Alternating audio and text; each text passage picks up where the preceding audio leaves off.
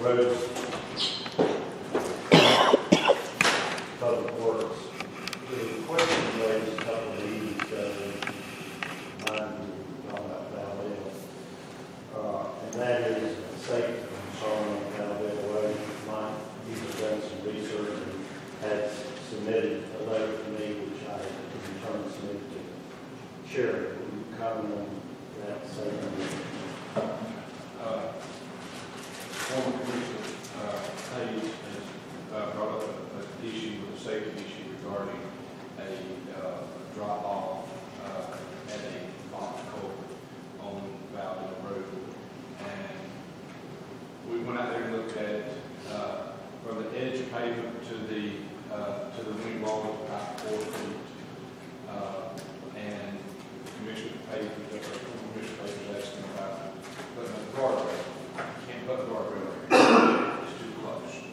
Uh, You've got to have uh, your clear zone, it's got to be uh, you know, eight, ten to twelve feet, depending on what your speed limit is through there. Uh, There are variances that you can make to, to get it, uh, to get it in there. And, but you don't have the room distance per se, say, I'm going to put a guardrail out there. So, uh, I talked with the DOT, told them what my problem was, and they sent me a a spec on how, how we could get it in there. What you can do, what we can do, if we could put, uh, curb and gutter that section. Uh, and then put the guardrail right behind the curb and uh, which that, uh, eliminates the striking hazard, uh, because you've got the curb and gutter there. And it would, you know, it's not the roll back curve like you see in subdivisions, this will be the straight, uh, the, you know, the standard six, eight inch curve straight up. And which will eliminate the striking hazard, and you can put the, uh, put the guardrail behind it. And you just do have enough room to, to get in there without having to lengthen your course. Uh, the issue there is for it to be, uh, for it to be legal, uh, you have to lower the speed limit through that section of Road to forty-five miles an hour. Now, we are, we are legal in what we have out there now, because we've got, uh, object markers, delineators out there, uh, that delineate that there is a hazard. We are, we are legal. There's an accident out there, we, we're. Uh, does, would it help safety wise for a, to have, uh, you know, the guardrail up there? Yes, it does, but it's not, it's not a necessity. Because we are legal in what we have. I think there's a couple of concerns here. Which number one, safety is always a concern, but then you have to take that safety to a point of reality and look at it. And Are we looking at a fifty-five mile an hour road all the way through and we're gonna have uh, a hundred yard section that's gonna be forty-five miles an hour? You know, that becomes a potential issue there as well. Because if, if you, if you noticed, another Commissioner Powell had, had heartburn about this, out on, uh, Old Clyde Road, there's curb and gutter on Old Clyde Road out there, you get off exit thirteen, there's forty-five miles an hour through there. The reason why it's forty-five miles an hour is because you got curb and gutter. You can't touch it at fifty-five with curb and gutter. So if, if there's curb and gutter there, it has to go down to a minimum of forty-five. Let me ask this, in the event, and because just on that road, and I went out there and looked at this, but just out there on that road, that's one location, but there's also several other cross pipes, uh, little small creeks, drainage basins, what have you, that do cross under not only just Val Del Road, but just about every road. in the county. So it, it, it becomes a much bigger issue once you really kind of start there, then you've got to go to the next.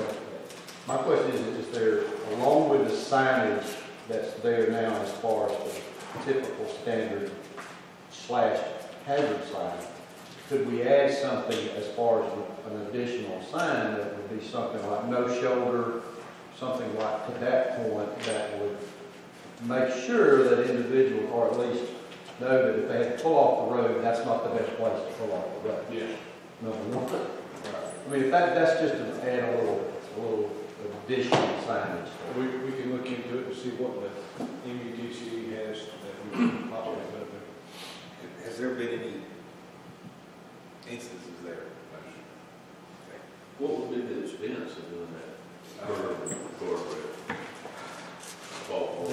The, uh, the legal length of guardrail is about 120 feet past the, past the end of the object. So you're talking 240, 260 feet on both sides, so just roughly say 500 feet. Uh, going to run you uh, 20 to 25 dollars a foot installed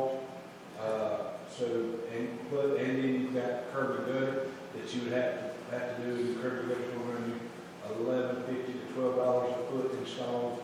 So you're talking thirty-five dollars a foot, thirty-five to forty dollars a foot, just say forty dollars a foot for each figure, uh, at five hundred feet, uh, twenty thousand, twenty thousand dollars for, uh, for that. Both sides. For, for both sides, but as the chairman said, there's, uh, every county road in the county has, has that where you can't legally put a guardrail up because there's, there's not the shoulder, there's not the width there to do it.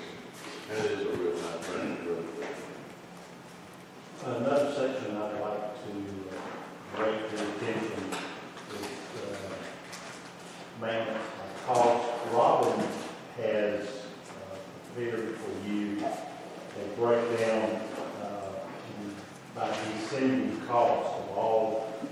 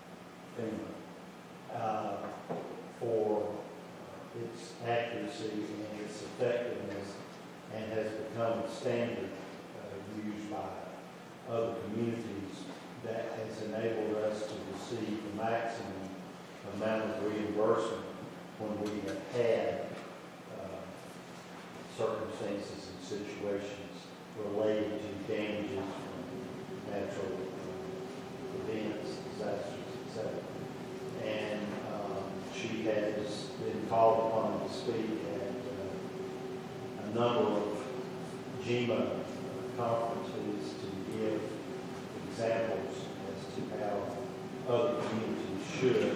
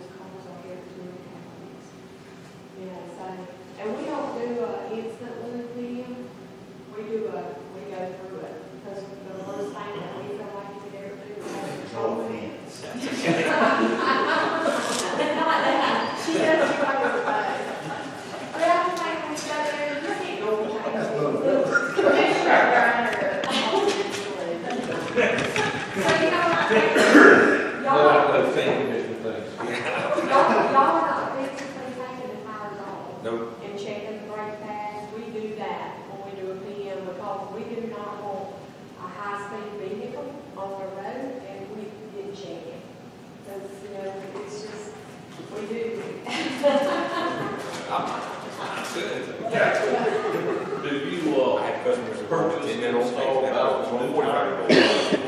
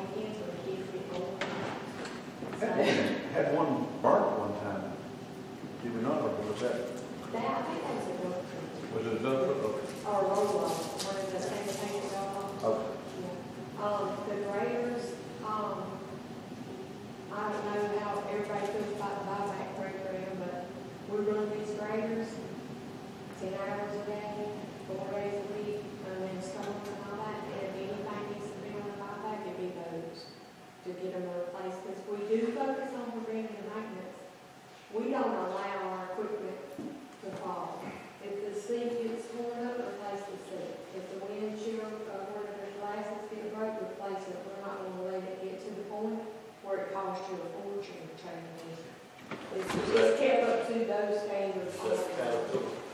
Uh, well, we have to here, but those are all. When you buy, you agree to the, you you a.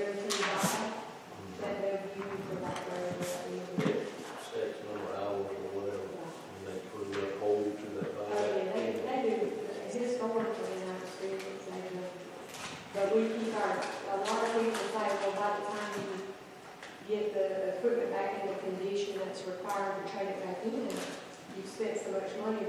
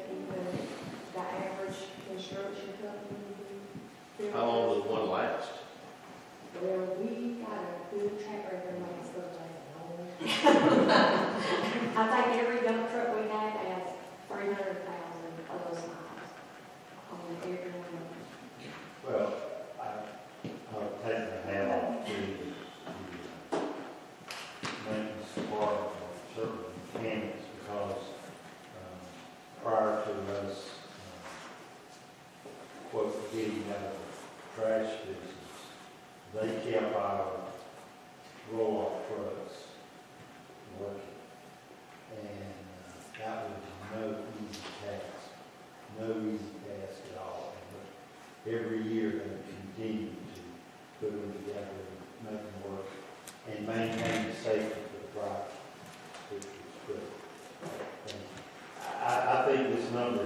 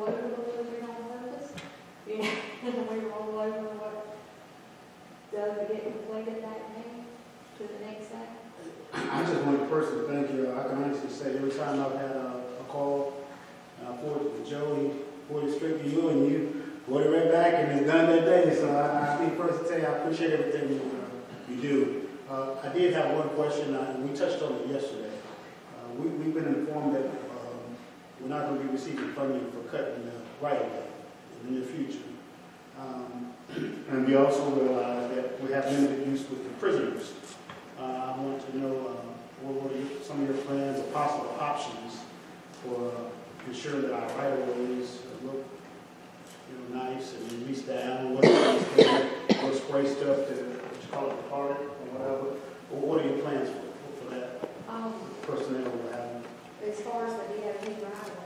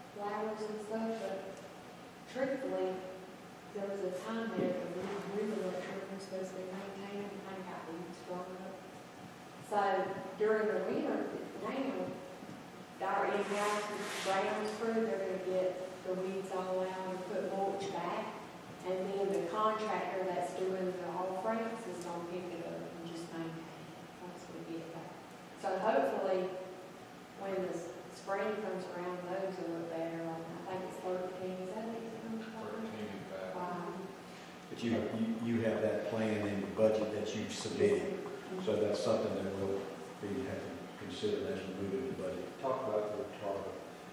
Well, um, we actually, we are, s- we are great little fabricators, and we turned our old timber dump truck that was turned into a water truck, and then we turned it into a spray truck. We got the wands and spray, and for two years, we ran a test, and, um, we were trying to spray retardant. It's not weed killing, but and I just, it didn't save us, the only thing that really saved us is mower blades. It didn't save us any rounds. You know, and, it- and it, but it did make the grass. But we still made the same number of rounds and the cost of that chemical was unbelievable. You spend like thirty or forty thousand dollars on chemical to save one round of mowing, if you even could. And most of the time, our, our everybody's so used to being with that manicure you almost. So what, basically what you're saying is that the process of putting the retardant on it from your test plots really hasn't shown any sort of anything to. Right. Um, and then we also, we historically until last year, this past mowing season, we ground up and uh, two forty mix. But I said, there, there, person put your plant ground up, I'm gonna break the lawn because it's caused us, we had to go there. I'm not, I better never say ground up in our department again. We have had to do so many driveway repairs for washouts because we sprayed around the signs of the driveways trying to save ourselves from step, but it ended up costing. us. So we were like, we're not doing it And then anymore. we would get, then we would get accused of, if you see, when Georgia Power or Colquitt EMC, when they go out there and spray the edge of those trees, they would swear that that was the county spraying and killing. We had to replace, when we did the, what I'm saying, the retardant, that's with the lawn moving the entire right of way. I know I was, I had to at least deal with three cases a week where somebody thought we killed their shrubs. It oversprayed, got in my field. And there was the power cord cutting the lines, but you could never convince anybody. It just seemed like it was easier just to go mow it. than- And it probably is, but at the end of the day, it looked a lot better just mowing it anyway. They do that. Do y'all have some questions specifically for uh, Robin and uh, Mike related to either engineering or any of the maintenance issues? There, that, some, uh, I don't the only question I've really got is where's your magic hat? And you want that you're able to do all the things that you're able to do. Uh, I know from a commissioner standpoint, you know, we're here, we will hear from the citizens about a few things, but we hear from a, from a lot of citizens, and it specifically has to do with roads, uh, and public works, and what's being done, and how things are being taken care of. And it's just like Mr. Marshall has said, uh, if there is an issue on a road, and and this is not from, from neglect, this is just an issue from a wash, you know, if we get these five or six inch rain, get a wash, then when the call is made and goes to Mr. Pritchard, you folks get it on the schedule and get taken care of, uh, I certainly appreciate that because it does make our job, what we have to do is talk and communicate with citizens. That's what makes it so good. I get the calls also coming back of how appreciative the citizens are of the quality of the work and the work and the job that was done in public works, or whatever it might be, whether it's a cover or whether it's repairing a wash or whatever that case may be. What we Thank you. try to do is, every citizen that calls in, we make sure that when when we complete the work that they requested, we try to call them back. And, you know, make sure they were satisfied. If they, you know, some people we've had to make repeated trips to make them satisfied. Customer service, I mean, that's what we're. Well, one of the things that the reports that you get is the number of work orders and the percentage of those work orders that are generated by citizens versus the ones that are generated by other employees, county employees, public works employees, and or engineers that are on the road, that see an issue, that see a problem, make a work order. And I, I can't think of, you know, maybe a month or two, but I can't think of very many where those, the percentages is not always higher with the number of work orders created by county employees versus citizens. So it's not, very- Being proactive, that, that's really what it is. they, they realize that that needs to be done rather than wait. They go ahead and make Robin aware of it. Came by this road, I know this has got to be done. And Mike's staff that are on the road day, who work closely, uh, with the Public Works.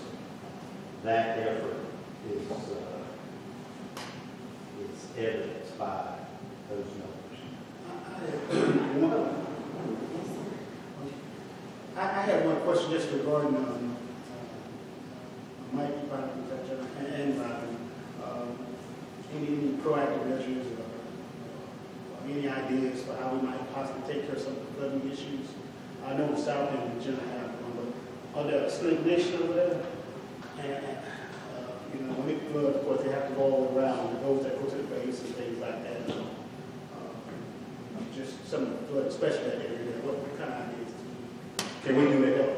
One of the projects that we're going to do is, uh, under this block, we're going to raise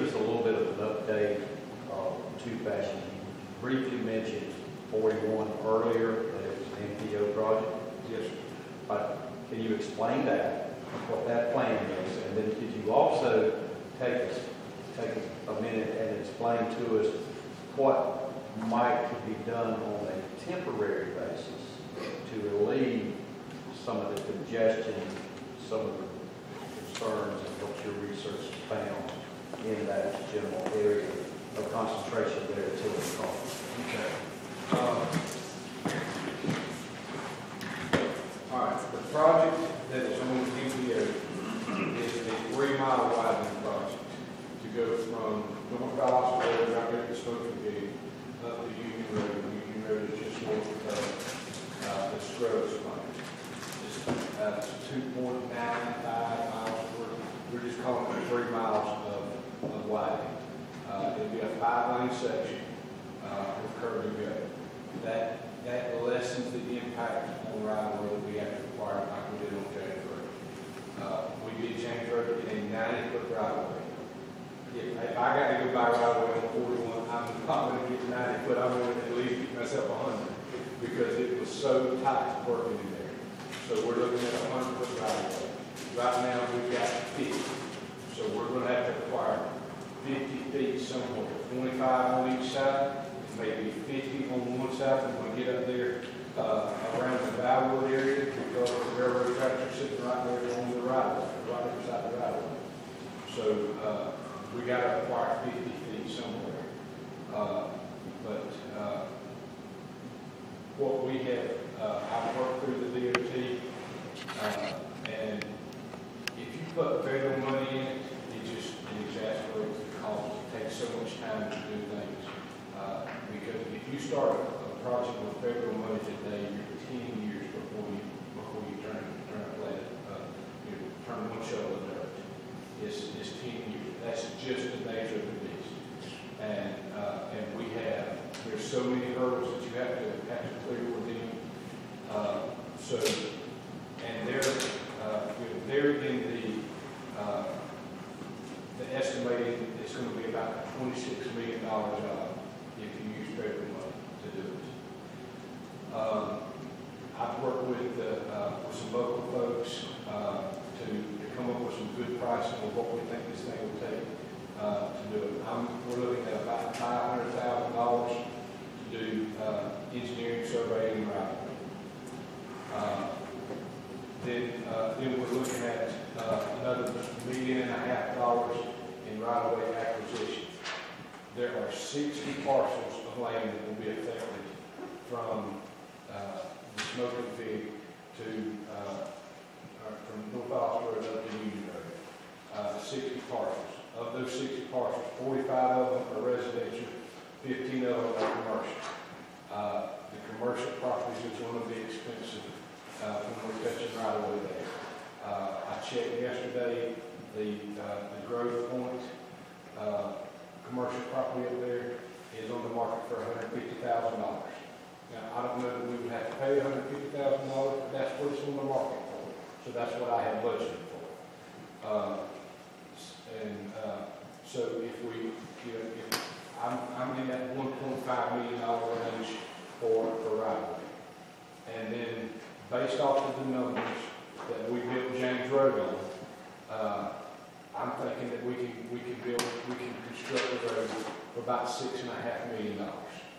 So you're between, that you're in that eight and a half to nine million dollar range, turnkey, start to finish. And so, versus, and. uh, Would you say federal? Federal's gonna put Federal's gonna put you up there at twenty-six million. Because on, on the federal, every piece of property you gotta be appraised. And you, an appraiser's gonna run you three to five thousand dollars on every commercial piece of property, it's gotta have a commercial appraisal, so maybe you're up there in that eight to ten thousand dollar, uh, range. Uh, me, Mr. Pritchard, or nobody at this table can negotiate with somebody on right away that's got federal money. You gotta hire a federal right away negotiator. Uh, and, uh, they're gonna charge you, uh, three to five thousand dollars a parcel to negotiate right. And, That's uh, enough. Now, y'all had done that start, you didn't have to. Nine million, twenty-seven million, I think. And, and, you know, and, and the, uh, what, do- what doesn't make sense is, when we did the movie, the day one in the movie, we had to do a noise study. Where's the noisiest place in Miles County? It's right there at the south end of that base, on, at that right runway. But we had to do a noise study. We'll have to do a noise study out there.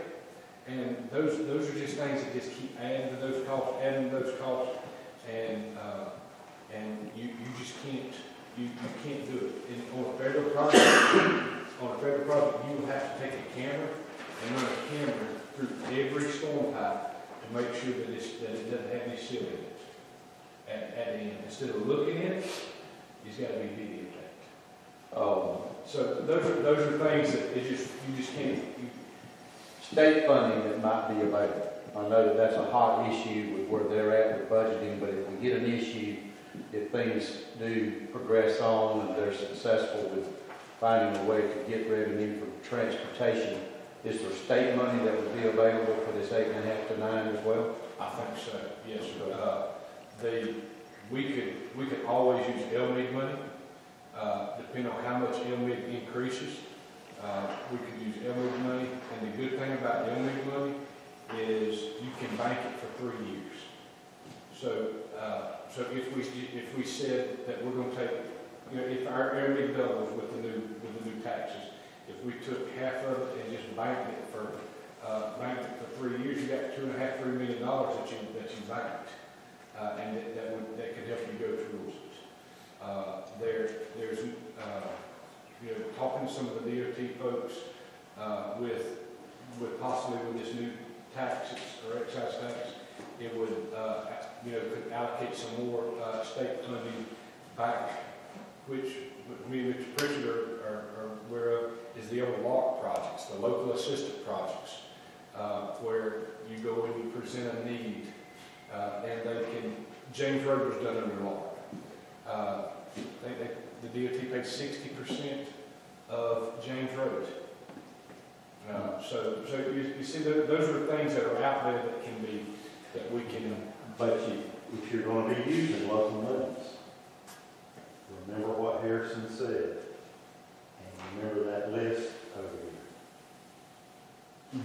So, if you're gonna do something different, it's not on the list, and something that's on that list is not gonna get done. Well, that's the reason why the list is still there. There's always- always been things that come up, and I think that we have to be realistic about that.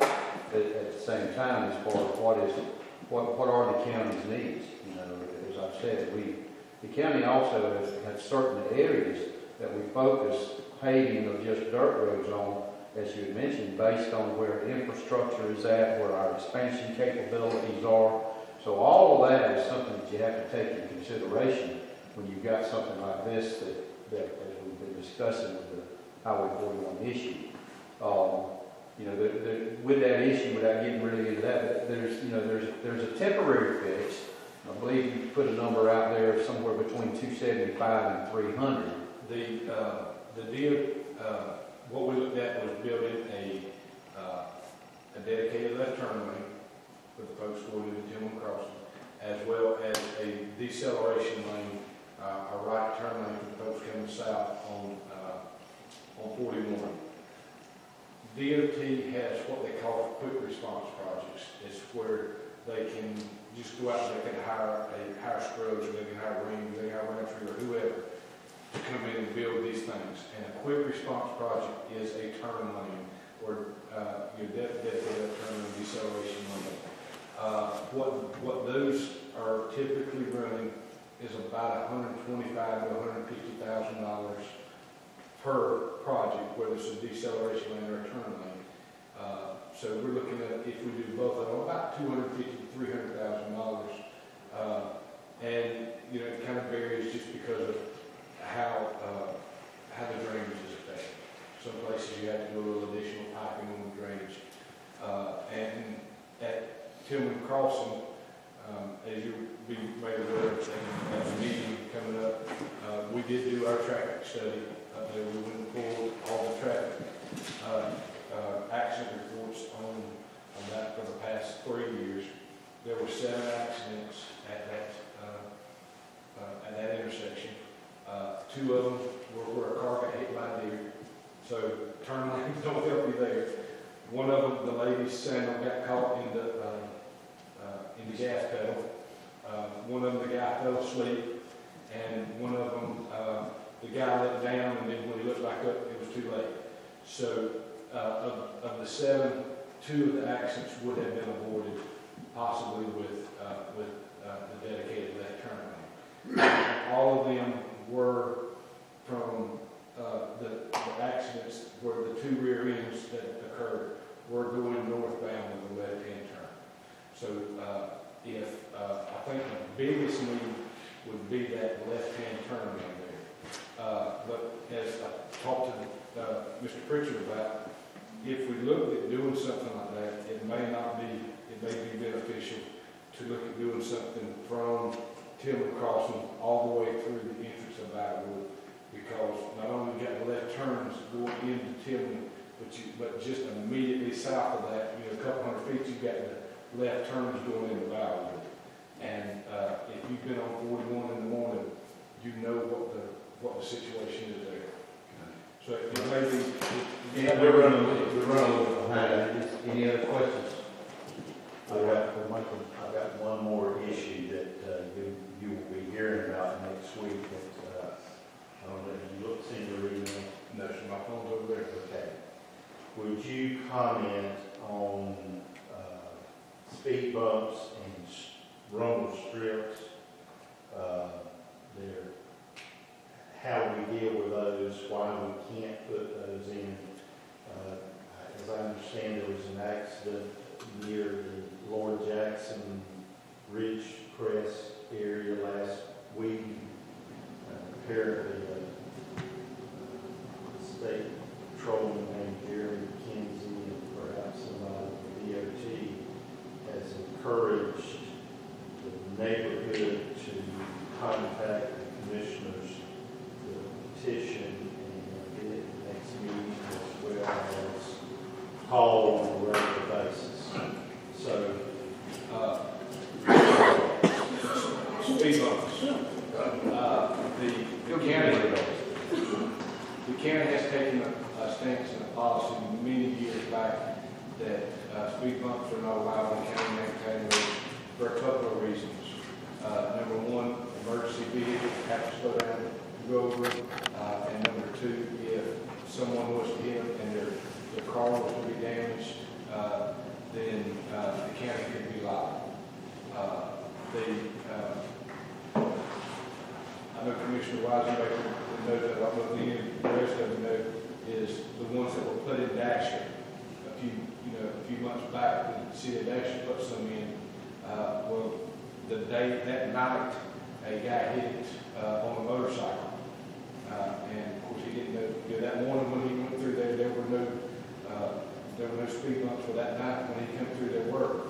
And a speed bump at a motorcycle don't get along with it. And, uh, and so, uh, uh, but, uh, but they, and, uh, but so speed bumps, we do not put speed bumps on county maintained roads.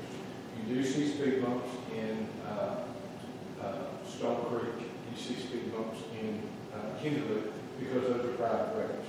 But not, not county maintained roads. And also, when we do resurface a county main, we do resurface a road, uh, those speed bumps have to be taken out and things like that.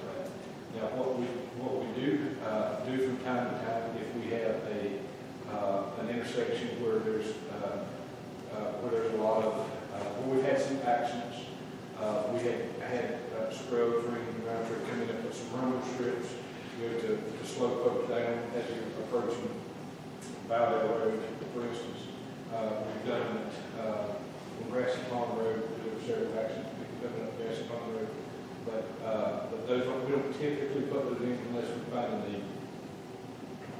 And the emergency vehicles he's talking about is like ambulances, so the people in the back. That's why the city, the city has stopped doing that. well, Mike, we we get